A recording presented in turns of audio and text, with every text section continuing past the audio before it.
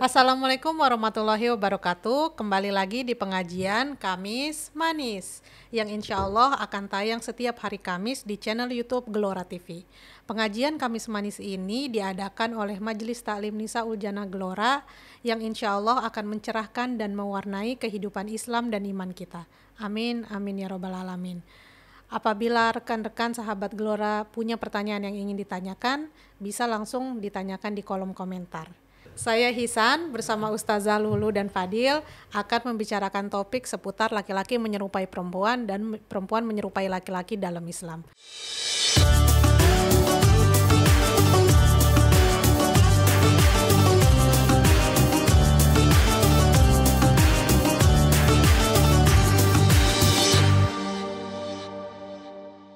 Apa kabar Ustazah? Alhamdulillah. Baik. Fadil, apa kabar? Baik. Alhamdulillah.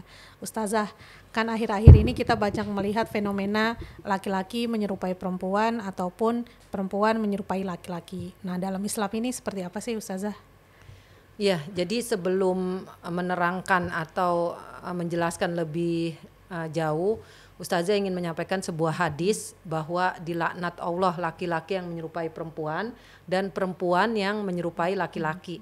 Di sini uh, dari berbagai aspek, ya, aspek uh, sifatnya, aspek uh, pakaiannya, aspek uh, bentuknya dan lain-lain ya. Jadi uh, memang uh, kalau dalam konteks uh, lingkungan dan uh, daerah atau kalau dalam Islam disebutnya al-urf, urf. Jadi uh, adat istiadat ya. Misalkan kan beda uh, budaya barat, budaya timur ya. Misalkan uh, kalau budaya uh, timur ya, yang timur tengah nih, uh, laki-laki pakai gamis, perempuan juga pakai gamis. Ya ada kan, jubah, Iya. pakai jubah. Tapi kan jubah untuk laki-laki dan perempuan berbeda. Ya, kemudian kalau ada pakai celana panjang, ya, celana panjang untuk laki-laki dan celana panjang perempuan berbeda. Ya, artinya yang ini yang nggak boleh dibalik, ya, nggak boleh dibalik. Atau misalkan Balik eh, malu dong dibalik, oh kebalik Iya, gitu. Kebalik tadi. iya bener. Eh, ya maksudnya jangan menyerupai gitu laki-laki pakai pakaian perempuan, perempuan pakai pakaian laki-laki. Eh, sarung misalkan sarung koko kan itu eh, atau sarung kemeja itu dipakai sama laki-laki. Dibalik kebaya dipakai eh, kebaya sama kain dipakai sama eh, laki-laki. Keba- eh, sarung koko dipakai sama perempuan. Nah itu kan terbalik.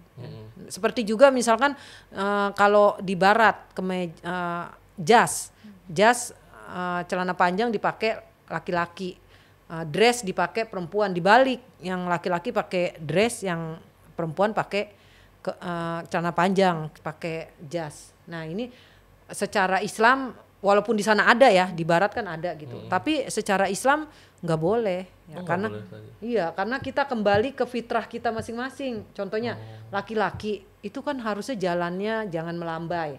Ya. Bisa nggak latihan jalan nggak melambai? Bisa, Bisa. bisa. Ya di fitness juga bisa lama-lama nggak melambai misalkan. Hmm. Ya atau perempuan eh, jalannya jangan gagah banget gitu sampai Tegap gitu. Oh, oh, apa ya? ya intinya eh, kita bisalah eh, mengukur-ngukur nih kita menyamai laki-laki apa enggak nih. Kalau kita sebagai orang Islam, Padil misalkan menyerupai laki-laki enggak? Insya Allah enggak. Hisan menyerupai, eh, menyerupai perempuan enggak? Ya Salah. Fadil menyerupai perempuan enggak? Enggak gitu. Hisan Iya. menyerupai laki-laki enggak? Enggak. Kan dengan jilbabnya, dengan Iya. pakaiannya gitu. Walaupun pakaiannya mungkin ada pakai celana panjang, tapi kan enggak menyerupai laki-laki, ada jilbabnya. Tapi kan ada juga tuh kalau di sekarang eh, fashionnya perempuan yang kayak misalkan mau wisuda atau mau meeting, dia tetap berhijab, cuman dia pakai kemeja sama jas, itu tetap boleh saja. Apa Ya, kan ada eh, jilbabnya. Heeh. Tetap kelihatan perempuan kan? Iya. Iya, Oh itu boleh. apa-apa. Iya. Oke. Jadi identitasnya itu loh, identitasnya kan Oke. tetap perempuan. Atau kalau perilaku, contohnya gini, per- perilaku atau pekerjaan eh, s- laki-laki eh, eh, kalau koki mah nggak apa-apa ya koki. Eh, perempuan deh, perempuan jadi satpam. Laki-laki kira-kira jadi apa ya? Yang oh eh, make up artis. Ya, itu boleh laki-laki ya jangan dia kan nanti laki-laki menyentuh-nyentuh perempuan terus belum lagi nanti dia dandanannya juga pakainya juga wallahu a'lam gitu ya. Uh, artinya kalau dia make up uh, artis make up perempuan ya perempuan. Jadi pekerjaan dan syariat tuh masing-masing dari gender ada. Ya ada. Oh. Sa- istilahnya Allah itu sudah menciptakan manusia sesuai dengan fitrahnya. Ya, fitrahnya. Jadi uh, kalau fitrahnya laki-laki ada pekerjaan untuk laki-laki, ada uh, karakter laki-laki, ada uh, tanggung jawab laki-laki. Kalau uh, perempuan ada karakter perempuan, ada tanggung jawab perempuan, ada pakaian untuk perempuan ada. Jadi nggak bisa dipaksakan maksudnya. Iya, dipaksakan gimana? Jadi kayak misalkan eh, ternyata eh, kayaknya gue sukanya mm, make upin cewek nih sebagai laki gitu. Ah udah terus juga jadi MUA bayarannya besar. Udah pengen jadi MUA aja. nggak boleh itu saja. Itu kan dipaksakan entah karena kondisi atau Iya. karena emang hobi dia. Ya bisa dicari eh, kalau dia paham ya. Ini kan kita kalau yang nggak paham sih ya eh, kita doakan. Tapi kalau yang paham eh, dia pasti dapat ibaratnya pemahaman bahwa oh ini yang eh, pekerjaan yang bukan untuk saya. Ada yang dia bisa kerjakan selainnya. Seperti misalkan gini, eh, Padil perempuan jadi satpam, kerjanya dari eh, sip-sipan nanti ada sip-sipan dari jam 6 ini sampai jam 6 pagi. Terus pulang pagi ke rumahnya yang ngurusin anak siapa? Misalkan punya anak. Kalaupun gak punya anak, suaminya gimana? Masa tiap malam dia dinas gitu.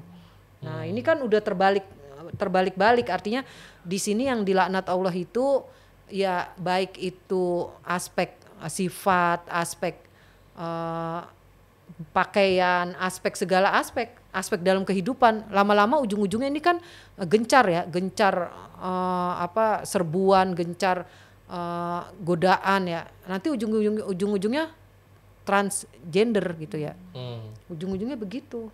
Nah, Ujung-ujungnya itu mah udah finalnya gitu. Finalnya yang laki-laki nggak puas sebagai laki-laki, yang perempuan nggak puas sebagai perempuan, terus merubah ciptaan Allah. Tapi kalau misalnya kayak eh, perempuan punya banyak teman cowok dan sebaliknya cowok punya banyak teman perempuan, itu eh, batasannya itu sampai mana saja? Ya, s- eh, selama ibaratnya itu manfaatnya lebih banyak ya, eh, ya nggak apa-apa aja. Tapi kan tetap misalkan batasannya nggak boleh berdua-duaan, terus eh, nggak boleh berubah karakter. Misalkan yang cowok jadi gemulai, Eh, jadi setengah mateng gitu kan. Nah, Kayak telur. iya, kayak telur. Tapi kalau cewek jadi cowok setengah mateng juga apa gimana? cowok jadi cewek jadi cowok. cewek cewek jadi cowok. Iya, iya. Kan cewek itu harusnya eh, lembut ya. Karakternya eh, apa? Ya lebih dominan lembut lah gitu. Kalau main sama cowok terus terus dia berubah. Ya berarti dia harus menyadari nggak boleh berubah. Karena fitrahnya dia lembut, fitrahnya. Nah, ini sebenarnya kontrol kelu- keluarga ya. Keluarga nih, keluarga gimana nih mendidik anak laki-laki, mendidik anak perempuan itu tantangan untuk kita semua nih. Karena nanti ibaratnya sebenarnya semua orang itu eh, berasal atau eh, tumbuh dari keluarganya. Nanti yang ditanya ibu bapaknya dulu. Nih yang bakalan ditanya kalau ada penyelewengan-penyelewengan atau ada eh, perubahan-perubahan nih anak kok sifatnya eh, laki-laki tapi kayak perempuan sifatnya seperti ini atau laki-laki eh, perempuan seperti laki-laki atau apalagi pakaiannya bentuknya dan lain-lain.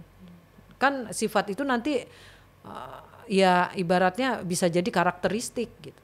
Hmm. Naudzubillah. Berarti kalau misalkan kan tadi Ustazah bilang dalam berpakaian ya. Tapi kalau misalkan dalam eh, potongan rambut apakah ada contoh ada ada contoh dari Rasulullah atau secara Islami apa gimana saja? Ya, kalau rambut sih nggak masalah ya. Artinya Rasulullah juga rambutnya pernah dikisahkan sedada ya. Kemudian eh, perempuan rambut pendek boleh nggak? Boleh juga. Aisyah juga setelah wa- wa- Rasulullah wafat, Aisyah itu rambutnya pendek. Tapi kan eh, ditutupi dengan jilbab. Hmm. Ya, artinya kalau rambut itu nggak eh, ibaratnya nggak lebih ke menyerupai laki-laki atau menyerupai perempuan, rambut tuh bebas. Tapi eh, bebasnya itu dalam arti kalau la- perempuan itu identitasnya adalah pakai jilbab. Karena udah pakai jilbab jadi udah identitasnya pasti perempuan. Tapi soalnya waktu itu ada bilang kalau misalnya cowok tuh nggak boleh Rambut di panjang. mohak gitu atau terlalu panjang dipotong yang kiri kanannya mohak abis gitu jadi cuma tengah doang gitu Oh, itu ada bab lain. Bab lain Oh, itu gitu. uh, bahwa uh, ya emang haram kalau berantakan. Tapi kalau rapi nggak apa-apa, maksudnya nggak boleh dipotong sebagian, disisakan sebagian.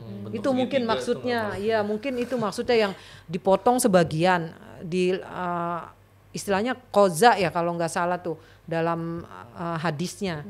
Jadi koza itu uh, di ya kayak dibentuk sini pa- rambut, yang sini botak, botak. Heeh, sininya dipapas. diukir nama gitu Iya, itu kayaknya itu mungkin maksudnya. oh Dan dari segi pakaian juga kan laki-laki ada yang tidak boleh dipakai yang apa sutra ya Ustazah ya. Oh iya Sama betul, emas. Heeh, betul. Nah itu artinya batasannya batasan itu. Jadi kan yang boleh dipakai eh, sama perempuan tuh emas boleh, emas sutra boleh, laki-laki nggak boleh.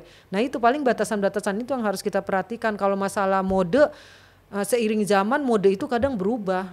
Terus kadang eh, mode di suatu tempat misalkan barat sama timur aja udah beda gitu. Jadi kadang itu nggak bisa jadi standar. Makanya kalau kita cari standar eh, pakaian itu eh, ada mm, kriterianya, tapi nggak jadi standar modenya gitu. tapi Kalau ya ya kriterianya iya, kriterianya ada. Nggak boleh menyerupai laki-laki, nggak boleh menyerupai perempuan. Tapi kalau modenya ya itu ini masing-masing al uruf uruf. Jadi lingkungan tergantung eh, apa adat istiadat, zuruf, nah tadi kan Ustazah bilang keadaan. kalau misalkan karakteristik tuh misalnya cowok eh, itu kan harus dibimbing dari orang tuanya tapi ternyata kalau memang dari kecil Tidak dia pernah. eh, nggak pernah dibimbing sama orang tuanya ya udah mulai setengah mateng itu gimana saja Iya, eh, ada kita eh, istilahnya berobat ya, psikiater kan bisa mengobati itu. Ya, jadi insya Allah ada ilmunya. Ya. Tapi kalau syariat kan batasan halal haramnya. Kalau syariat nih, kalau ustazah bisa berbicara batasan syariatnya. Tapi eh, kalau nanti eh, orang yang berilmu, fasalu ahlad dzikri in kuntum la ta'lamun. Ya, jadi bertanyalah kepada orang yang eh, tahu, yang paham. Kalau kamu nggak tahu, jadi tanyanya ke siapa? Ke psikiater. Berobatnya ke mana? Ke psikiater bisa. Terus kalau misalkan kita ketemu orang kayak gitu eh balik lagi lo kayak cowok kita harus ingetin apa gimana Ustazah? Iya. apa kita kata-katain Jangan, jangan, jangan dikata-katain. Jangan, Bener boleh. tadi, eh lu kembali lu ke ini iya lu. diajak kayak ke "Eh, lu kembali ke cowok dong gitu Heeh, lu kembali ke cowok dong atau ya dihentak emang kan dia cowok aslinya. Terus lu kembali dong ke cewek, dia aslinya cewek. Ya, jadi emang ini sebenarnya penyakit ketimpangan-ketimpangan eh, apa penyimpangan-penyimpangan bukan ketimpangan, penyimpangan-penyimpangan eh, pendidikan. berarti kalau bisa kita ketemu diingetin Heeh. oh Diajak, diingetin, terus kalau bisa langsung action ke psikolog, psikiater, ikut gue yuk ke psikiater gitu Heeh, psikolog ya. Iya. Tapi diajak dengan cara yang baik. yang baik udah akrab banget gitu diakrabin makanya jangan dijauhi kalau bisa ya kalau emang kita bakalan kuat bakalan mampu eh, kita deketin ya kita berjuang. Tapi kalau Eh, jadi deketan jadian jangan. Oh jangan. Kalau kira-kira dia jadi toksik kita malah ke bawah ya kita menghindar. Menghindar. Langsung menghindar aja tuh saya. karena eh, suul khuluki yuk di keburukan akhlak itu menular. Tapi kalau misalkan eh, perempuan suka hobi laki-laki, itu gimana saja? Boleh apa enggak? kalau hobi sih enggak apa-apa. Karena zaman Rasul aja perempuan bisa berkuda Eh, oh berarti itu nggak apa-apa Memanah. jadi enggak apa-apa berkuda, jadi pilot. Memanah, heeh. Nggak boleh, boleh. Tapi Oh. biasanya nggak sem- nggak itu kan karena nggak sesuai fitrahnya, artinya nggak kebanyakan perempuan mau begitu juga. Apa Ya. mungkin karena pekerjaannya udah terlalu keras, di situlah batas perempuan gitu. Iya, art- eh, jadi kondisional aja. Kalau emang dia sekedar hobi nggak apa-apa, kayak naik kuda, eh, pilot apa gitu ya. Eh, kalau dibutuhkan iya, tapi kalau enggak ya nggak usah. Seperti misalkan para medis, dokter apa gitu. Eh, dibutuhkan keadaan biasa di rumah sakit rumah sakit pasti dibutuhkan perempuan. Tapi kalau di medan perang kan yang diterjunkan harusnya laki-laki dulu. Itu perempuan tuh nanti kalau udah habis laki-laki atau emang dibutuhkan perempuan baru. Gitu. Wallahu a'lam.